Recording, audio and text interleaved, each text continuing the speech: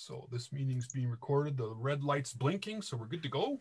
Um, so just welcome everyone. Um, I said we'll get started. Uh, it's my pleasure to introduce uh, Rick Burian, who's going to be our speaker tonight. He's going to talk to us about uh, the orchids of Madagascar. And we sent out an invitation with a kind of a, a biography of Rick, but um, he chooses to be a bit of a mystery man, and his claim to fame is that he could spell butterflies before he could spell cat. And, and what's probably more impressive than that is that um, he, he claims that he's been to more than 100 countries on all seven continents, and most of the time looking for orchids while he goes. And so um, he's been an active participant in the Native Orchid Conference for, for many years now. He's one of our directors at large and uh, he always has interesting stories about um, about orchids and where he's been and the kinds of things he's seen. And he gave me a bit of a teaser that his next trip he just signed up for is to go to Namibia and looking for adventure and orchids in Namibia. So um, uh, it's my pleasure to welcome Rick to give us a talk on the orchids of Madagascar. So Rick, uh, take it away. Okay. Hello, everybody. Um, I do want to preface this to say that I, I'm well aware that the Native Orchid Conference is all about the orchids of North America. But we started a few years ago at our annual symposiums, including maybe one presentation on orchids of another continent, just because we know that all of you are interested in, in all things nature. So, so that's why, so this is our token presentation of the year um, and it's dealing with the orchids of Madagascar. Um, for, for bandwidth, I'm going to uh, stop my video because I hear that that really is very helpful. So if you don't see me, you'll still hear me. And then I'm gonna go ahead and share the screen and get started. Good, we can see you, Rick. Okay. So, um, I have all sorts of things covering my screen. I sure hope that no one else does, but um, I'll move them. Anyway, to be um, very authentic, I decided to give tonight's program in Malagasy because that is the native language of Madagascar. I hope that's okay with everybody. You, you all speak Malagasy? Um, I guess not. Uh, how about we do French because they speak French there. Peut-être c'est, c'est meilleur? No, okay, we'll stay with English. So my presentation today is based on a trip to Madagascar in September of 2019 with the Orchid Conservation Alliance. The OCA was founded in 2004 with the focus on conserving land in orchid-rich areas of the world. And Madagascar is an area with abundant orchid species, but many are unknown to enthusiasts. The country has an estimated 10,000 different vascular plants, with 90% being endemic, and there are over 1,000 different orchids in 57 genera. So that means one in 10 vascular plants on Madagascar is an orchid.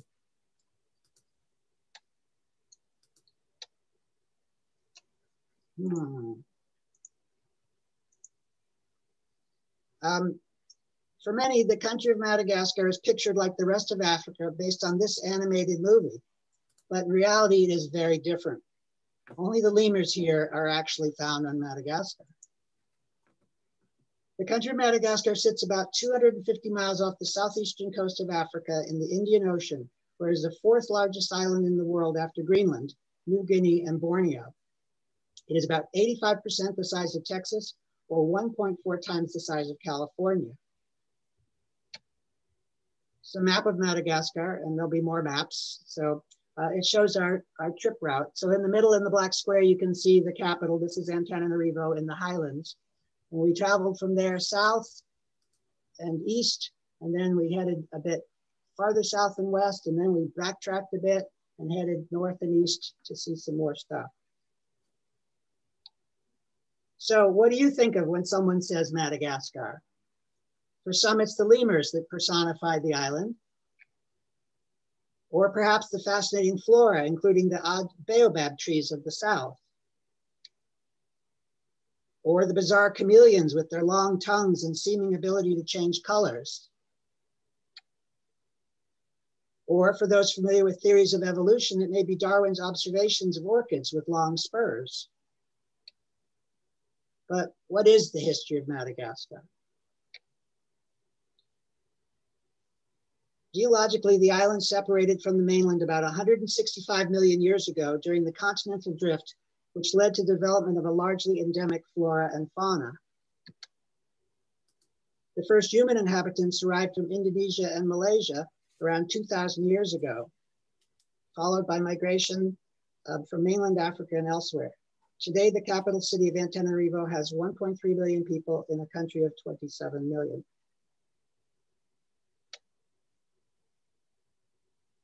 The French, um, the French controlled the country from, whoops, I missed one. The French controlled the country from the late 1800s until independence in 1960.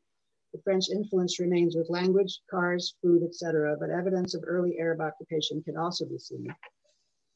The people of Madagascar are primarily the Malagasy, and they consider themselves more Indonesian in heritage than African. But because of their colonization history, they maintain a link to the other French-speaking countries of Western Africa. Madagascar is one of the poorest countries in the world with, with most people living on under $1 per day and nearly half the children under five being malnourished. Agriculture is the primary source of income. Healthcare is a challenge and the country has the highest number of cases of plague in the world, averaging over 800 cases annually with, in 2017, they had 2,400 cases. It's caused by the Yersinia pestis bacteria, hence the symposium, and transmitted to humans from rats via fleas is most common in the highlands where 8% of cases are fatal still. Brick making is a common trade among um, the people. They use the red earth left behind after harvest from the rice fields. The dried bricks are then fired in giant kilns over a number of days and bring about 1.5 cents each to the family. An average of 10,000 bricks per firing can be good earning for an extended family. In the highlands, we saw this as a common sight.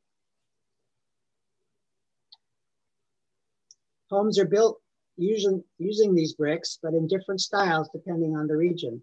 Most products are transported by small cart or are carried.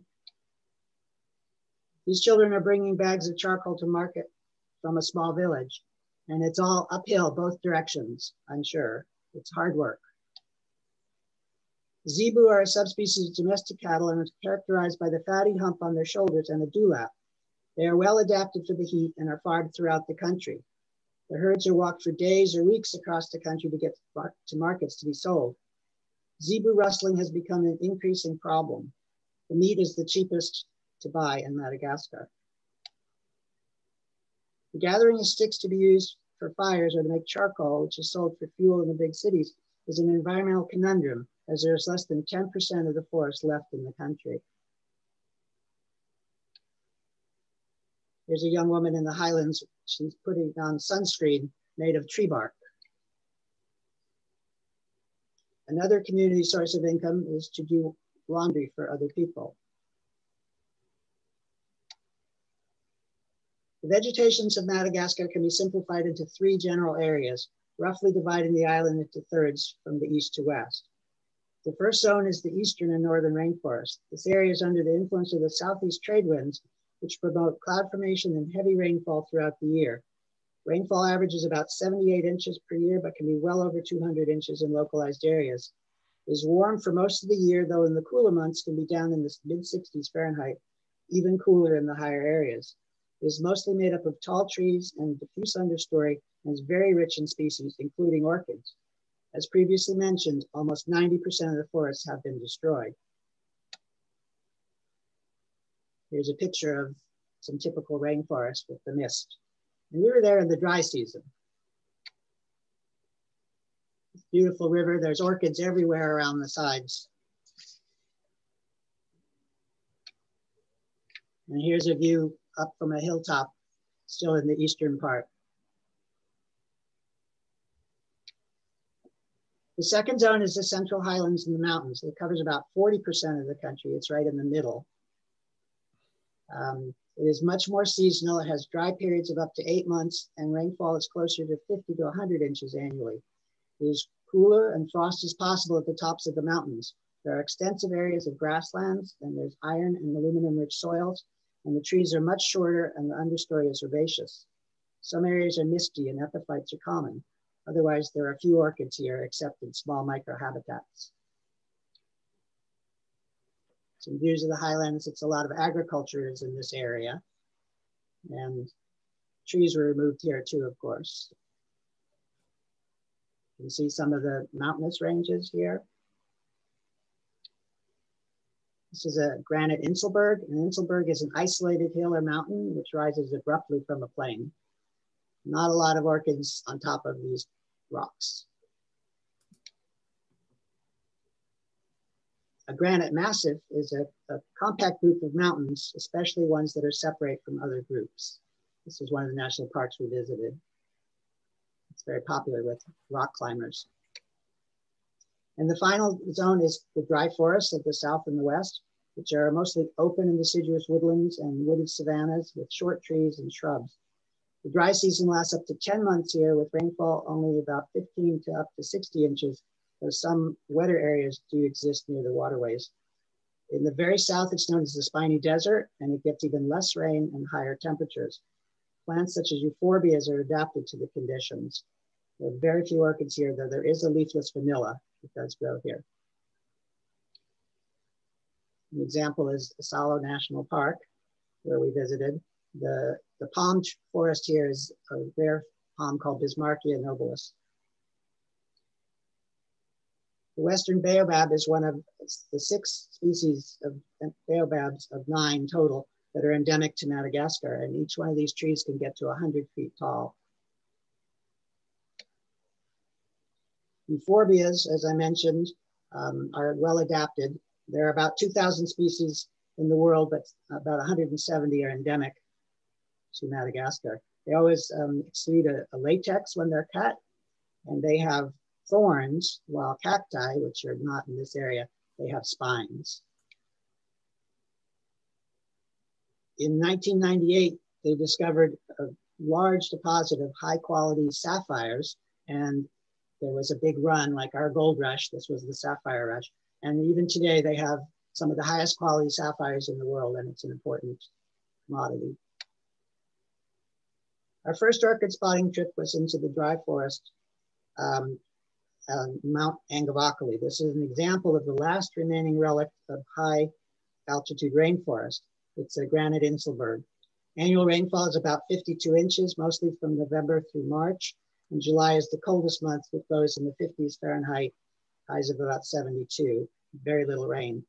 Um, in November to March, it gets to the lows around 60 and the high in the, in the upper 80s.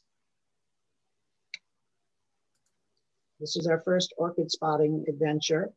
On the far left is Mary Gerritsen of the OCA. She is our leader. And on the left in that picture is Johan Hermans. He and his wife Claire were our guides, and they are probably the most knowledgeable people regarding the orchids of Madagascar. He's written books and he's describing many of the species. He's a research associate with the Royal Horticultural Society in England. He's looking at a little orchid. If you can sort of see the little white and purple thing on the side, that is this orchid. The genus Cynorkis contains about 125 species, primarily from Madagascar and the Mascarene Islands, with a few on the main African continent. They're mostly terrestrials with fleshy or tuberous roots, and the stems often have glandular hairs. Cynorkis ridleyi seems somewhat common in the northeast quadrant of the country, where it prefers humid evergreen forests and grows on plateaus among mosses. There's quite a bit of variation in color and markings, so may be referred to as a complex or a group, and it requires more study.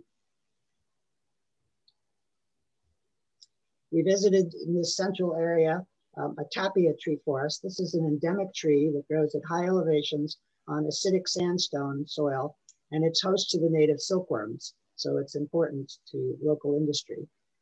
There are some, a few orchids in the area. There's also passion flowers and this succulent, which is probably an aloe because there are 117 endemic aloes on Madagascar.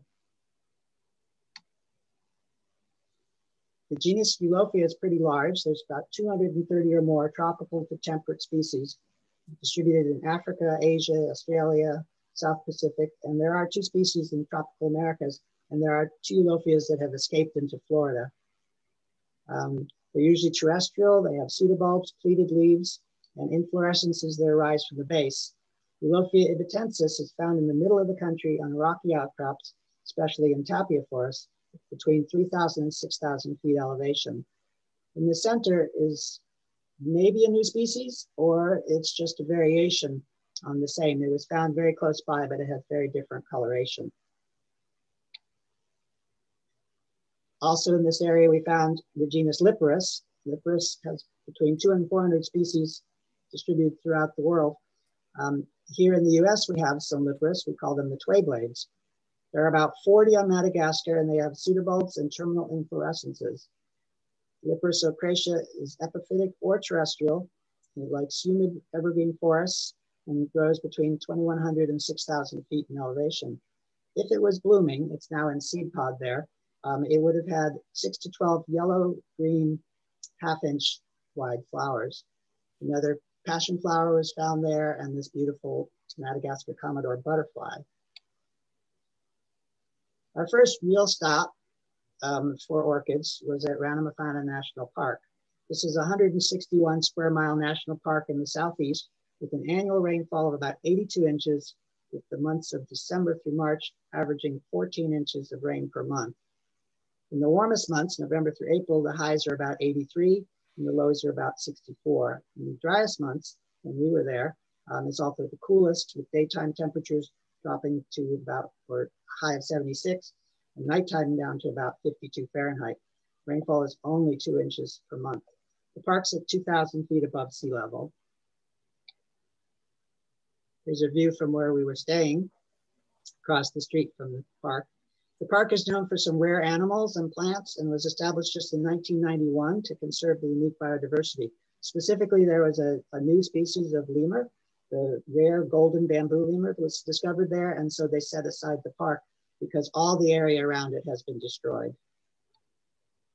One of my favorite things to do at night is to go around the rooms with the lights left on and look for moths. And there's amazing things that can be found. The one on the right, it looks like maybe she dropped her pearl necklace, but uh, reality, those are the eggs. The cream striped owl moth has these um, fake eyes that scare away the predators. One of the coolest bugs we found is a giraffe-necked weevil. The male on the right has this ridiculous long articulated neck and it's used for fighting other males, while the females use their stubbier necks to roll the leaves into tubes and they lay their eggs inside.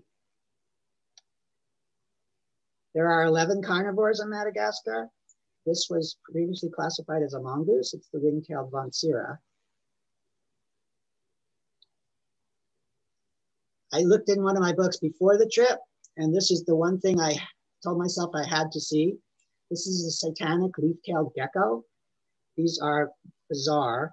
Um, they vary in color, but they always look like a dead leaf, making them nearly impossible to spot. Fortunately, we had some very good guides who could pick these out. You can see the color variation. They're incredible. They always have, they have these sinister spikes above their eyes, make them look quite evil.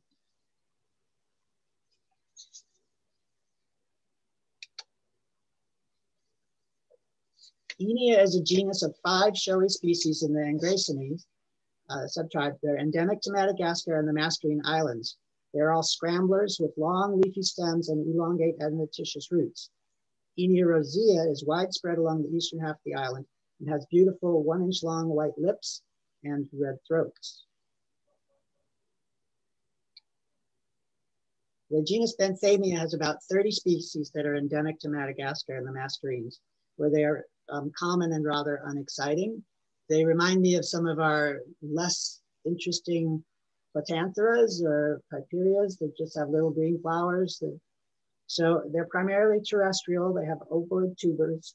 The flowers are green and small. Um, Benthamia africana is common on the whole eastern half of the island where it grows to about 24 inches tall.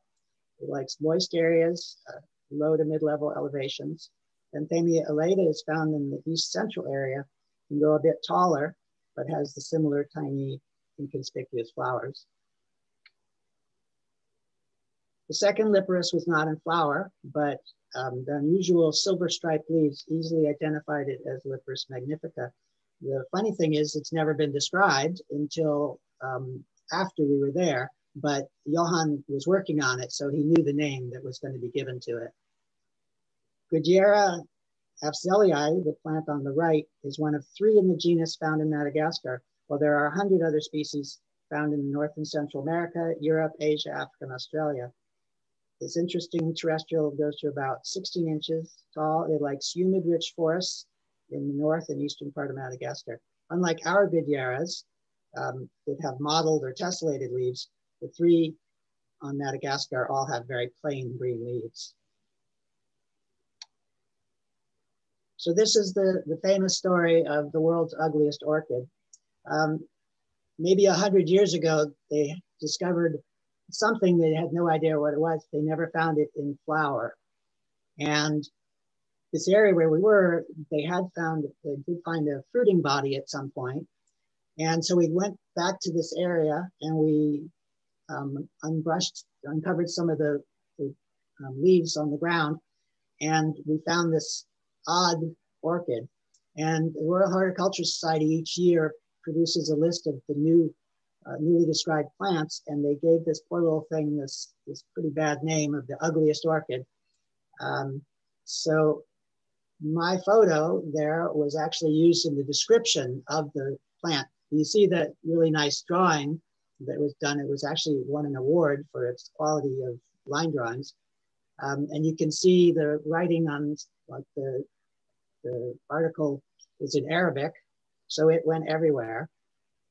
So that's the fruiting body on the left, and the flower is the main picture there, and that's Johan um, taking a photo of it. So that was my 15 minutes of fame. It's only, it's less than a half inch across, this little orchid, and um, it's probably gnat or something like that pollinated. It's one of the potato orchids, and the potato orchids are um, found in Australia, New Zealand, and those areas. They're leafless mycotrophic plants. And with, with this discovery, it makes two um, potato orchids on endemic to the island. Two more examples of Cynorkises. This is, um, the first one is Rosulata, and it grows between six and 16 inches tall. It likes mossy forests, humid rocks, and um, the other one, Graminea, likes is a more common species in wet, peaty soils along streams, and it gets 24 inches tall. This is Cynorkis ridleyi again. This was the first orchid I showed you up on Mount Angavokely. Um, if you remember, the pattern was very different.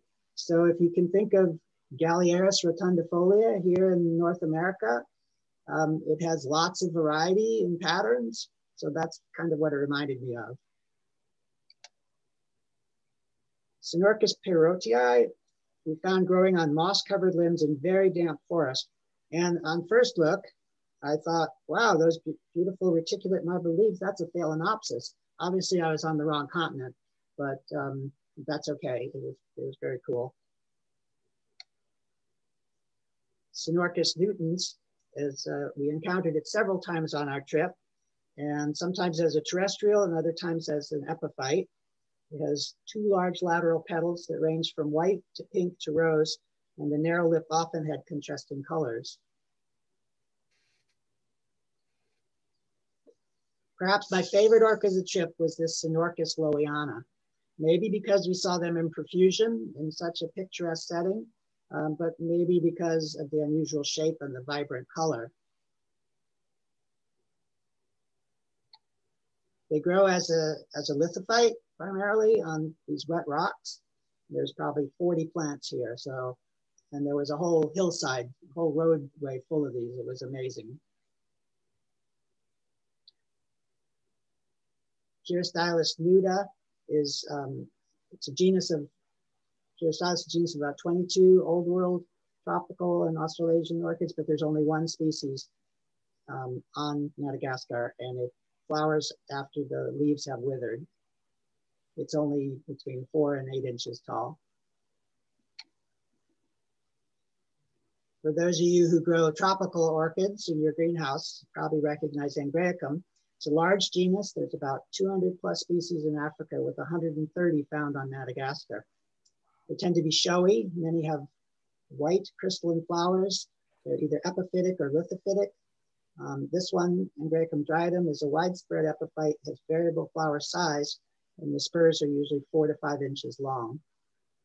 This one was just hanging off a tree right at the entrance to one of the pathways. This is some typical forest that we took walks in. You can see tree ferns and other really interesting vegetation. Bulbophyllum leptostachys is uh, one of about 200 species found on Madagascar, but it's a very large genus, about 1,500 species, primarily Asia, some in, in mainland Africa, of course. There is one found in Florida. Um, these are epiphytic or occasionally lithophytic plants. They have pseudobulbs, they have one or two leaves, and they have creeping rhizomes. The flowers tend to be quite small, often fleshy, sometimes unpleasantly fragrant, and they're very difficult to identify a lot of these real small ones. Bulbophyllum sambiranense has limited distribution and grows in seasonally dry areas. It has slightly flattened pseudobulbs and red spotted little flowers on six to eight inch long inflorescences.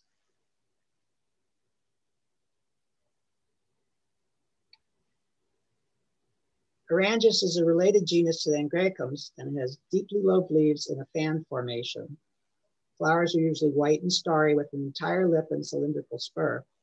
Aerangis fastuosa has made it into the collector's world as a small yet showy variety with one to three relatively large white flowers with spurs over three inches long.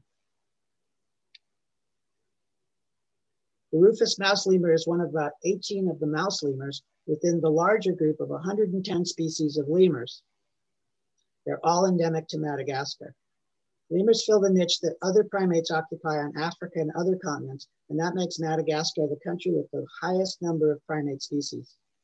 The mouse lemurs include the smallest primate, which is Madame Berthe's mouse lemur. It's only four inches long and weighs only one ounce. They all look about the same, but location helps with identity as they like to stay in their own regions. They had smeared banana on these trees, and uh, we did a night walk, and the little buggers got attracted to that so I could get their picture.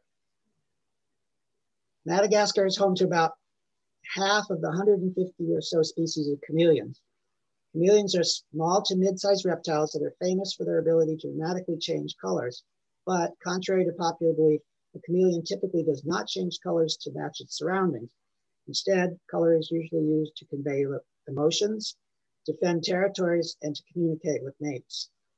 The cryptic or blue-legged chameleon is about five inches long. They feed high in the trees during the day, but sleep lower to the ground at night. So we disturbed his sleep, but it sure made taking pictures a lot easier. The starry night reed frog is named for the pattern on the females because it's much darker. They look like the stars at night. Um, it's very dramatic. This is the, the duller male. Um, Madagascar is home to maybe 500 species of frogs, with 10% of the world's frogs being endemic to the island. They're the only amphibians on Madagascar. The little short-nosed chameleon there is about four inches long, but there are chameleons on Madagascar that are just over one inch long.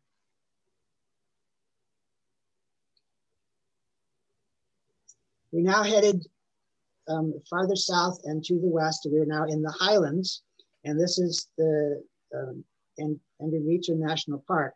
Altitude starts at 2,300 feet and the tops of the mountains, it gets to 8,700 feet. It's a 77,000 acre reserve, that's up to 98 inches of rain in, in spots, and is seasonally dry. The country's lowest temperature of 18 degrees Fahrenheit was recorded here. There's over 1,000 species of plants, 100 species of birds, and 55 species of frogs found here. We were there in the dry period. So here are some of the weirdest plants. These are the pachypodiums, and it means um, elephant foot. So Pachypodiums are succulent spine-bearing trees and shrubs. Um, specifically from Madagascar, where 20 of the 25 species are endemic. Um, it is in the dogbane family, if that means anything to you. These trunks store water, and all of the species are protected under CITES. They're lithophytes. They have these bizarre trunks, and they live in minimum soil on these rocks. The rainbow milkweed locust is one of many locusts that causes havoc in Africa. Um, the beautiful thing feeds on milkweed, so it's toxic to humans and other animals, though this is, of course, a plumeria that was in one of the gardens. And on some of the shrubs, there was 10, 20 of these at a time feeding. So you, and sometimes we would see the kids on the side of the road, we would be holding them by their legs and their wings would be flapping and they would try to sell them to you.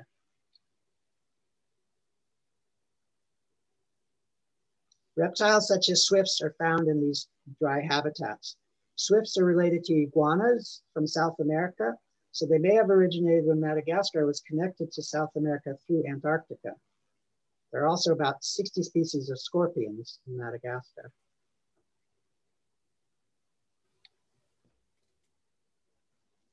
During the dry period when we were there, there was almost no orchids blooming. We did find these plants.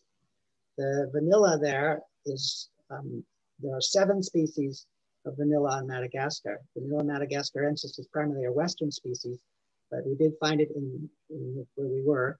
And it has beautiful white flowers with a lip that is tinted pink red, if it was in bloom.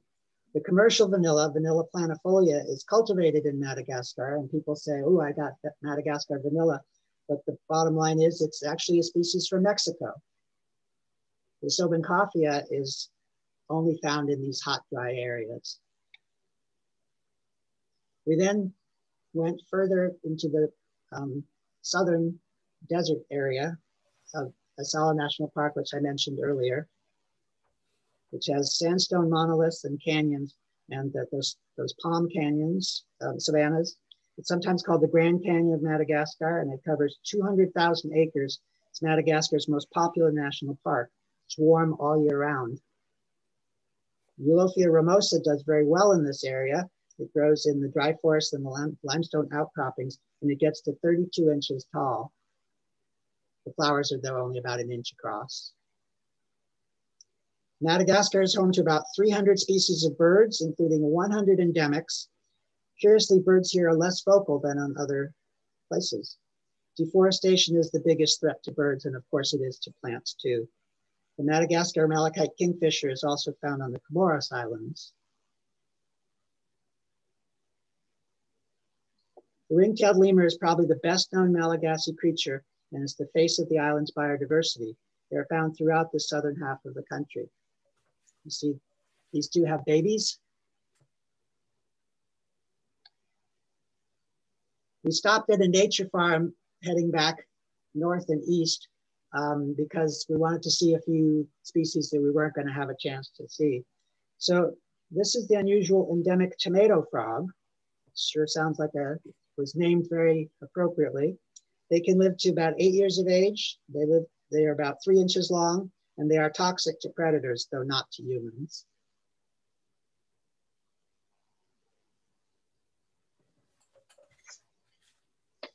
Chameleons, this is kind of mind boggling. They have, their eyes operate independently and they actually send two separate images to the brain.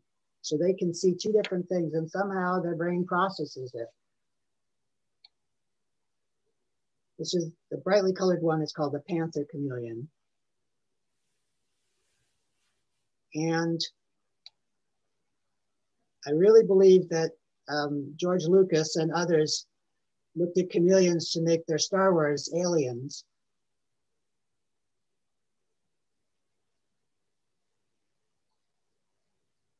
They have these amazing tongues and it's gonna catch that bug now. Let you see that again. It's amazing.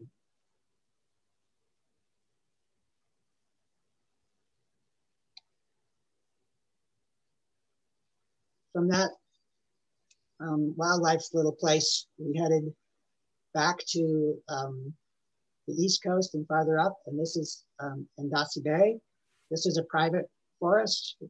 We drove around in those um, four-wheel drives and we were in the dry season and it was still pretty rough. So in the in the wet season, it would be nearly impossible.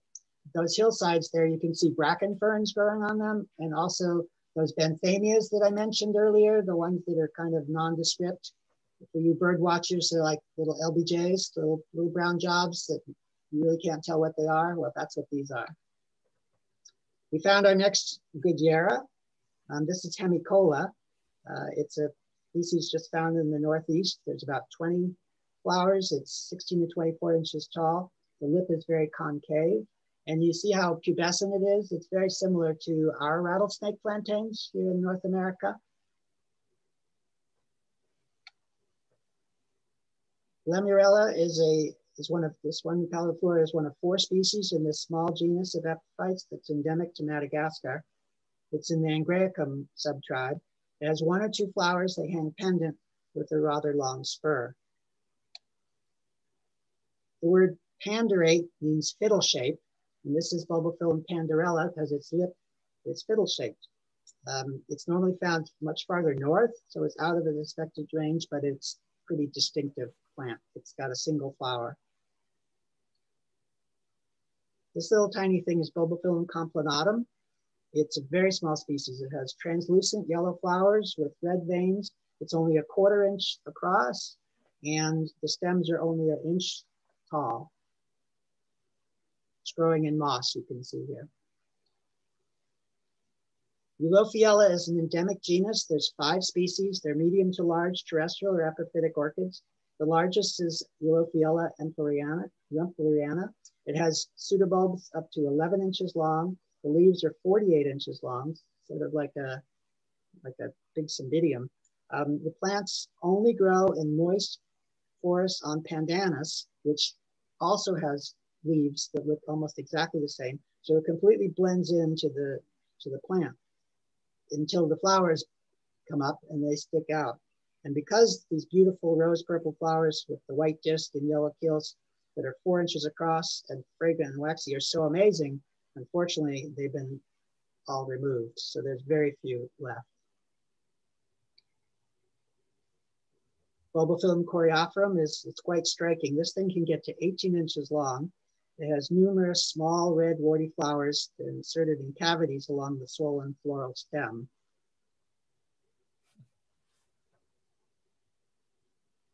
Bulbophyllum teretobulbum has cylindrical pseudobulbs and inflorescences with wide-lipped small yellow flowers.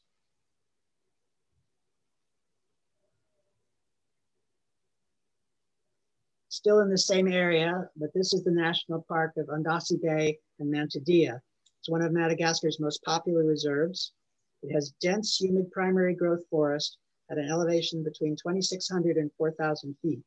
Rainfall is only about 67 inches, and that's usually over about 210 days of the year. There are over 100 species of orchids found here alone, as well as many mosses and tree ferns, 15 mammal species, 100 bird species, 50 reptiles, and 80 amphibians. Remember, the amphibians are just frogs.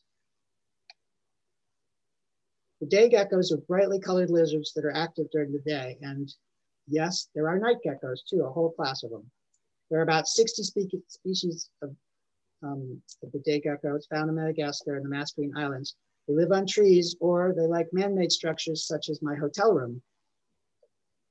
On the right is the flatid leaf bug nymphs. This is the juvenile stage of a sap-sucking insect. It looks like a flower due to the waxy substance they exude to deter predators. I think they look like feather boas at a show in Vegas, personally.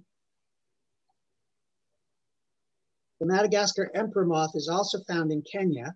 It has a wingspan of six inches and when alarmed, it too has those big fake eyes that startle predators. Most amazing moth, I felt really lucky that we got to see this, is the comet moth. This is among the largest of the silk moths in the world. It has an eight inch wing, wingspan, six inch tails. Um, it's endemic, but the mouth has become rudimentary. So once it's it doesn't feed, so they only die after, they die after just a few days. The larvae then take about six months to mature.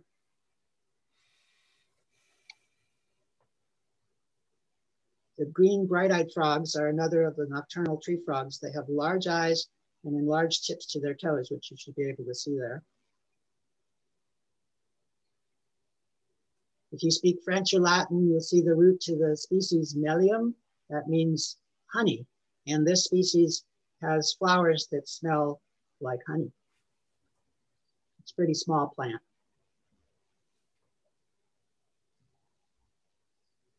Angræcum didieri has large flowers relative to the small plant, and the spurs are between three and six inches long.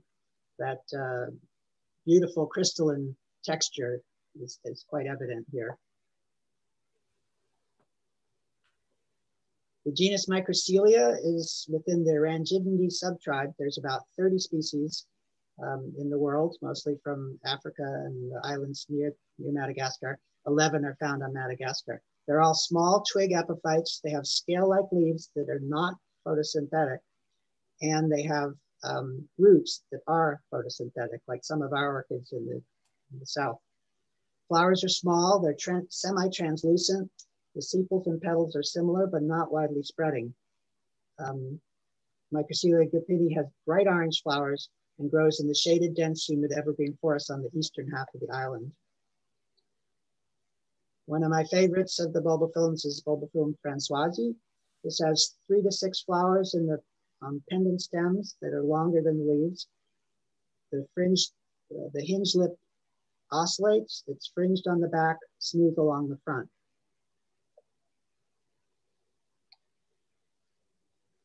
This bulbophyllum's name is longer than the plant.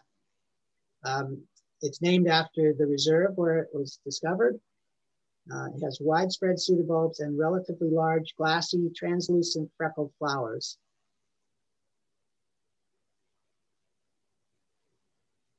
While we were looking for orchids, up above us came these um, diademed sifakas. These are large, gold, gray, and white lemurs. They live in small groups. They eat leaves, fruits, and flowers. And like other sifakas, they can move through the trees at making spectacular leaps and when on the ground, they make an extraordinary dancing motion, which you may have seen in um, the movie Madagascar or The Lion King or in some one of those. The insect life is incredible. I don't think anybody should be touching that little guy on the left there. Those, those little barbs look pretty irritating, but the little beetle there was really sweet.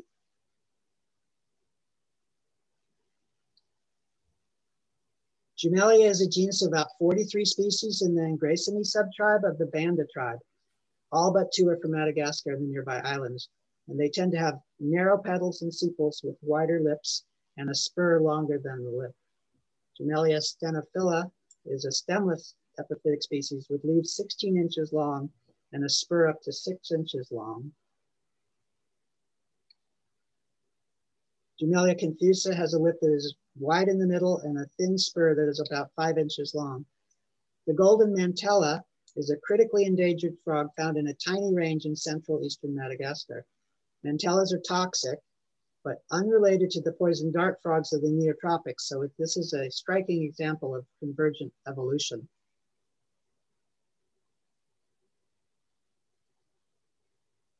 Angræcum implicatum flowers along the elongated stems and has spurs up to four inches long.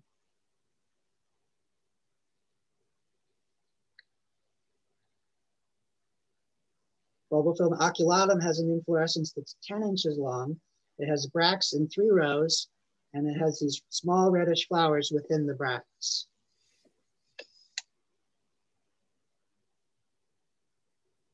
So Bulbophyllum auriflorum is called the golden flowered bulbophyllum.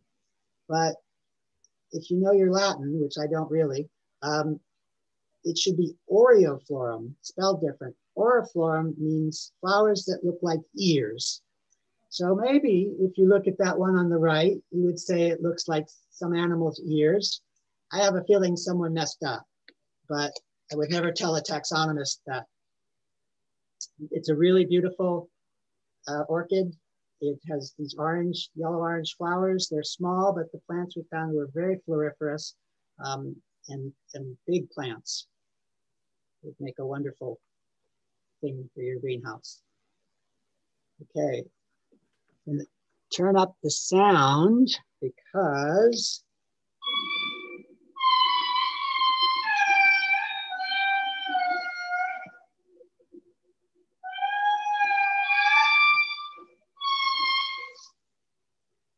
That was pretty cool.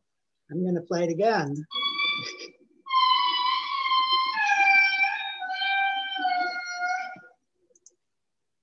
so what you just heard was the eerie call of the Indri.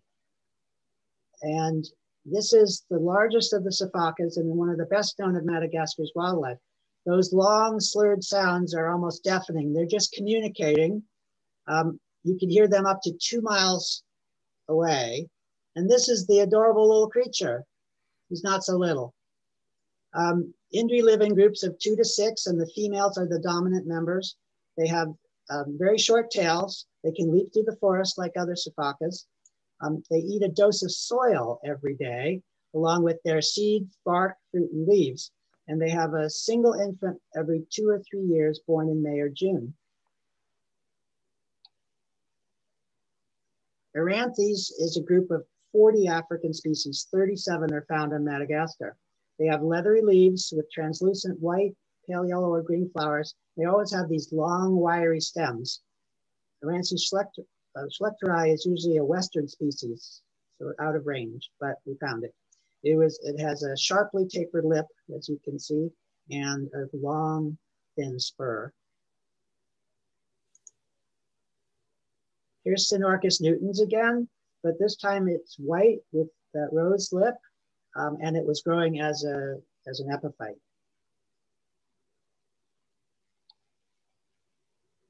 Angræcum lecomptii is a beautiful miniature. Uh, it has these pure white crystalline flowers that have a long, slender spur, and the leaves are very linear. Another bulbophyllum, this is Diphericatum. And this has a thick tongue-shaped lip and the flowers are glandular on the exterior. Angræcum pterophyllum is a tiny member of the genus. You can see that's my finger there on the side. So the whole plant is only maybe an inch and a half tall and the flowers are maybe a quarter of an inch across. As opposed to this Angræcum, this is Conchoglossum, and it's a much larger species. It has these contorted flowers, um, and they have yellow, yellowish tepals and a spur about four and a half inches long. And it's an epiphyte. We saw it quite high up in the trees. Another miniature bulbophyllum. This is Brachyphyton. It, it's only about two inches tall.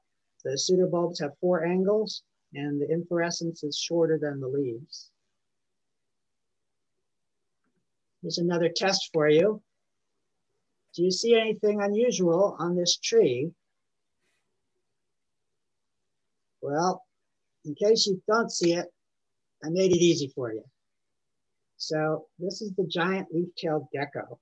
Um, it's the second largest gecko in the world. It's about a foot long. It has this unusual pattern that allows it to completely blend in with the bark of the tree. If someone hadn't pointed out to us, there's no way we would have seen it. Um, it sleeps during the day with its head down and if startled, it will open its mouth and display its bright red tongue to scare off predators.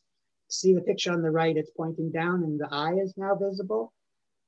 It was amazing. The hotel where we were staying, the lodge, um, there's a river going through it and there's some little islands and they have um, collected, I should say. These are lemurs that were either um, abandoned as babies or rescued from zoos or injured and they put them on these islands. Lemurs don't swim, and so they are afraid to go into the water. So it's a natural barrier for them. And it, it's become a, a tourist attraction, of course, and they feed them, and they're really very human like, some of them. They're adorable. The ring-tailed lemurs are they're not very cooperative with other lemurs, so they have to have their very own island. The bamboo lemurs are okay with other things, and they're named bamboo lemurs because they live in the bamboo and they eat the bamboo. our final place to explore for orchids was the Canal de Pangalanes. This is a canal, as you can see here, that's huge. It's 400 miles long, which the, the country is a thousand miles from the top to the bottom. So it really takes up a lot of the country. Um, it consists of a series of natural rivers, waterways, and man-made lakes that extends all along well, half, almost half of the eastern coast of Madagascar. And it serves as the transportation needs and the fishing grounds for the local villages. Um, we visited a small area almost at the top of the, of the canal. It consists of um, lot, lots of lush palm forests. And that's a traveler palm in the front there, and you can see several of them with those semicircle of leaves. It's got lots of pandanus swamps. Pandanus is a, um, there's 100 species of the 700 species of pandanus are endemic to Madagascar. Some are shrubs, some are trees, many grow in swamps and they often have supporting roots at their bases. Sometimes they're called screw pines, but they're, they're in a family of their own. They're not pine trees. The thin coastal sand dunes separate the lakes from the Indian Ocean. And there are beautiful white sand beaches and low forests with very sandy soils, and it's popular as a tourist destination. The black and white ruffed lemurs like to hang out near lodging. Um, it's a critically endangered species. It's about the size and coloration of the indri, but look how long the, this one's tail is. This is the aye-aye. The aye-aye is one of the oddest creatures. Um, it is, it's called an aye-aye because its call is aye-aye-aye-aye-aye. Um, it may look like um, a rodent, but it's a true lemur. Uh, it's the largest nocturnal primate that there is. Uh, in folklore, it was believed to be evil, and they were often killed as soon as someone would see one. Uh, there's a couple of unusual things. This animal has perpetually growing incisor teeth, and its middle finger is totally elongated so it can scrape, um, scratch out the larvae from dead wood. So they put coconuts up at night and allow this the visitors to come in and see it. So you can see in that little video, it's just scratching for its food. If you're into carnivorous plants, you're in for a treat if you go there, because there's two, two Nepenthes. And the Nepenthes madagascarensis is actually the type species. It's the very first species in the genus Nepenthes. It was described in 1658. It has seven inch long green pitchers. The one on the left is masoalensis. It has shorter reddish, reddish um, pitchers and it has ridges there by the stem. Angræcum sesquipedale is perhaps the best known orchid of Madagascar by hobbyists as well as um, botanists due to the work primarily by Charles Darwin, who theorized that there had to be a pollinator with an extremely long tongue to be able to get the nectar from the end of the 14 inch long spur. And indeed, a sphinx moth was eventually discovered to prove Darwin correct, though unfortunately it was 21 years after he died. Thus, it's one of the most celebrated predictions of the theory of evolution. The beautiful large waxy flowers bloom in the southern hemisphere around June to September, but in our cultivation in the northern hemisphere, they bloom around Christmas time. So it's called the Christmas orchid or the Star of Bethlehem orchid or the comet orchid.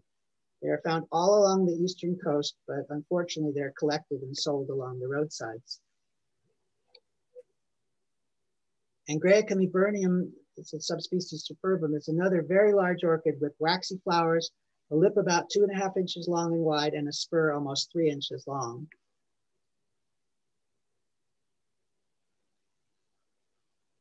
Oeoniella is, there's two species of Oeoniella, only one is found on Madagascar, and these uh, multifloral stems, they appear lateral to the long epiphytic stems. Oeoniella polystachys has beautiful white flowers, as you can see, they're half an inch long. They have a trumpet-shaped lip and a short spurt, and it's locally common at the low elevations. Gary is in our audience today, and Gary was much more agile than I was. Um, we spotted this Bulbophyllum erectum high up in the tree and it took a little bit of agility to get up there for to photograph it. The inflorescence, inflorescence gets to about 14 inches long and there's about 50 greenish brown flowers with purple spots and the fringed red or orange lip. We found two species of Aerangis. Um, these were uh, photographed at night. So if the lighting looks a little odd, that's why. Uh, Aerangis citrata has dark glossy leaves and about 60 white to cream colored flowers on stems that are up to 12 inches long. And Aerangis ellisii is, um, it's a larger plant. It has very reflex flowers. They're about twice as large, but the, the spur is also about an inch long. This is Angræcum elephantinum. This is a beautiful miniature. It's only about four to six inches tall, but the flowers are as large as the plant. Um, what's very interesting is that this is growing as an epiphyte on a introduced invasive Australian pine. So it's um, it grows close to the ground, but this is showing that orchids can be very adaptable. Cynorkis fastigiata is a widespread species um, along Madagascar, and it's found in the Seychelles Islands as well, and Comoros and Mascarenes. Uh, it can get to 12 inches tall. It's terrestrial most of the time. It has this interesting four lip, uh, four-lobed lip and a cylindrical one-inch spur. You can see the sandy soil where we're walking. The, the whole island is, I mean, the, the, islands and the areas like that. This beauty is Cymbidiella flabellata, and it was quite the treat for us. Um, the first day I was walking by myself and three little kids came by and one little girl had a whole bouquet of these. And in my fractured French, I was able to convince her to take me to where she had picked those. And then I was able to bring the group back to see those. Um, there are uh, three species that are endemic to Madagascar. They're large plants. They have a basal inflorescence. The species gets, this one gets to 60 inches tall. It has the smallest flowers of the genus, but they're still very showy at two inches across. They have yellow-green sepals and this three-lobed dark red lip with the black spots, and they're very striking. Um, that was all the orchids we saw there. So uh, we did really well. We saw over 80 species in our two and a half weeks that we were there. Um, but we were able to get um, permission to go to the botanical gardens back in the capital of Antananarivo. And they have a, a private collection in there that they don't let the public in, but we had permission. Angræcum um, magdaleni is a central Madagascar species. It grows on rocky outcrops. It has beautiful white flowers. They're four inches across and it has four inch long spur. Aerangis modesta has an inflorescence that's 12 inches long and has up to 24 flowers and spurs about two and a half inches long. Angræcum pingi grows in the far north. It has yellow fleshy flowers. And Jumellea sagittata has two inch long lips and spurs that are also two inches long. Aeranthes ramosa is a very variable species, both shape, color, and size, but it always is typical of the genus in having very long, wiry, pendant stems. Another microcoelia, as I mentioned before, these are all leafless, or it's the roots that do the photosynthesis. This one is from the central western part of the country. Uh, it's a miniature. It has these crystalline flowers with very wide lips. Another bulbophyllum. This is bulbophyllum teretobulbum. Uh, actually, it's like teretobulbum, the one on the left. Um, and bulbophyllum hildebrandtii has upright inflorescences that are 16 inches long. It has small, wide green to red flowers with that beautiful fringed lip. The last orchid that we found here was Gastrorchis pulchra. It's very showy. It has these beautiful pure white petals, pinkish red lip, and the yellow ridge covered with hairs. It's a genus of eight species. They're all endemic to Madagascar and they're terrestrial and they have pleated leaves.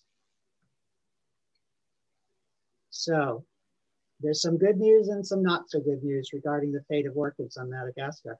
I just learned today, thank you, Dwayne, that Madagascar has the highest number of endangered species, these are both plants and animals, of any country in the world. There are 3,664 threatened taxa right now, according to the Wildlife Conservation Society. So all orchids are protected on Madagascar, and collection is supposedly highly regulated with permits that are rarely granted though we passed roadside stands and there were some large plants for sale.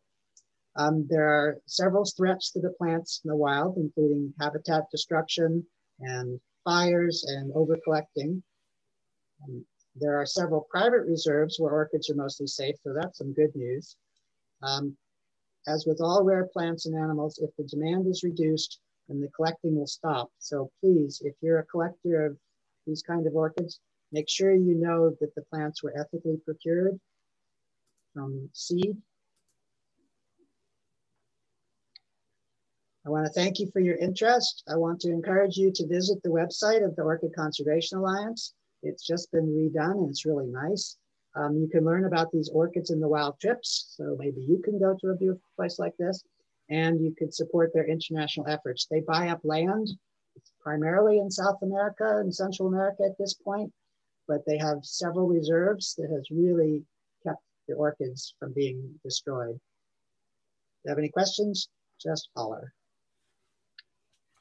Well, thanks very thanks much. very much, Rick. I'm just going I'm just going to stop the recording. Okay. And give you your mic. Turn your mic off. I'm back.